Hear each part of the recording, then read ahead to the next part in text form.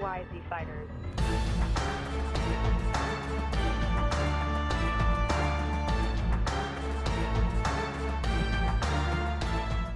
all right guys welcome back to another video and in today's video we are bringing you another deck profile no, uh, back to back to back to back back anyway with this deck profile we are running Dende's piccolo and then it's a wish leader piccolo brimming with confidence and let's get into this no specific order it's a mono yellow and some black cards in here but majority of the cards is yellow but no further ado, let's get into this.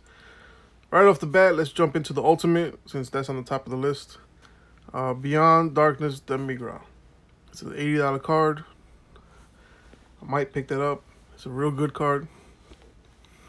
Uh, so we got one green card, which you're just to be bringing this card out when you KO any card. So it's none other than Frieza, Surprise Attack Frieza. Excuse me. Activate the skill when your opponent's battle card is KO'd. If Frieza is not in play, well, this surprise attack Frieza is not in play, you may play this card from your hand. Alright, so let's get into this. This is a one drop. It's only running one of these. When you play this card, choose one of your opponent's battle cards with an energy cost 2 or less, ignoring barrier, barrier switch it to rest mode.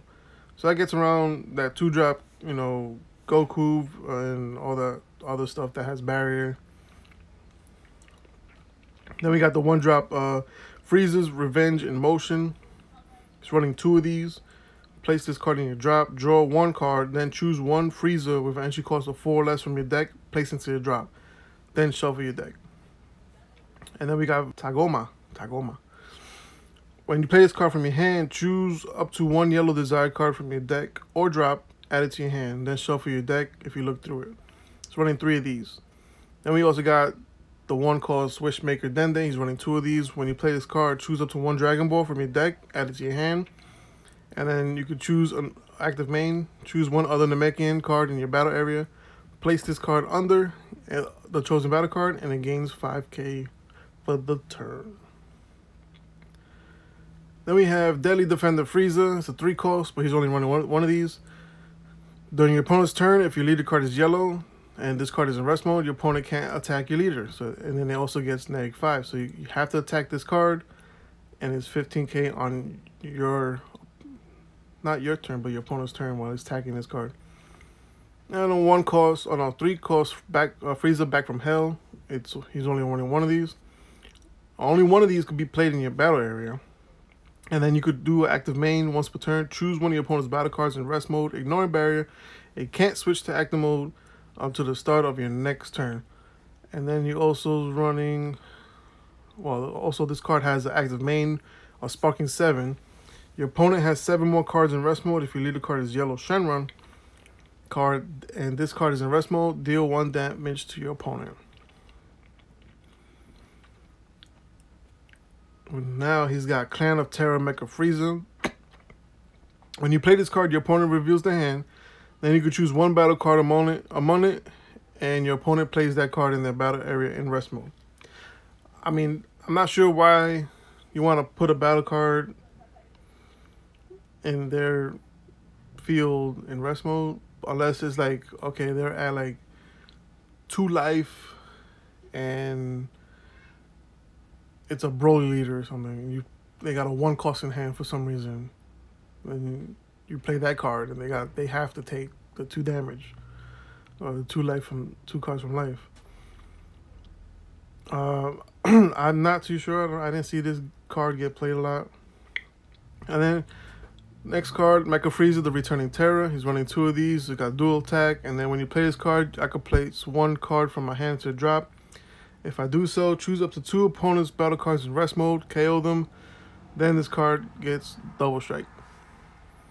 So I can get dual strike, dual attack, double strike.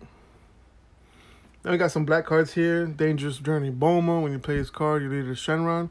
Choose three cards, three battle cards in your energy cost of three or more in your drop, and then shuffle them back into your deck. We got some Kamis, just one of them. Crisis Crusher, Son Goku, one of them. Tien, one of those five regular Dragon Balls, and two one-star Dragon Balls. Then we're going to get into the extra cards. One Battering Laser, one Crusher Ball, two Flying Nimbuses, one Personal Ambition, four Time Magics, and four Revival of the Emperor, and three Radar Dragon Radars. It's also got a sideboard here, and the sideboard consists of Flying Nimbus, just one of those, Deadly Defender Frieza, one of those, another Kami, just one, Time Chronoa, Time Control Chronoa, two of those, Heavenly Wizard Demigra, uh, Mercenary Tao, Crisis Crusher Son Goku, Haru Haru, and Tien Returning Fire. But yeah, guys, that's the deck profile for this. This one it made into the top four, top four of the ARG Easter event that we hosted back in April. So it's not really outdated. It could use a little bit tweaks. It doesn't run any uh, Child's Wish, World Peace. So it could use a little tweak here and there, and it could probably do top two, top and even win maybe. But yeah, guys, leave a comment, like, comment, subscribe. Again, we got a Patreon back open. Come visit us on there. It's nothing really on there yet, but we're just gonna start posting our deck profiles on there, and you guys are gonna get it like a week ahead of time, or something like that. Just let us know in the comments what would you like to see, how you want us to do a couple things and we'll see you on the next video.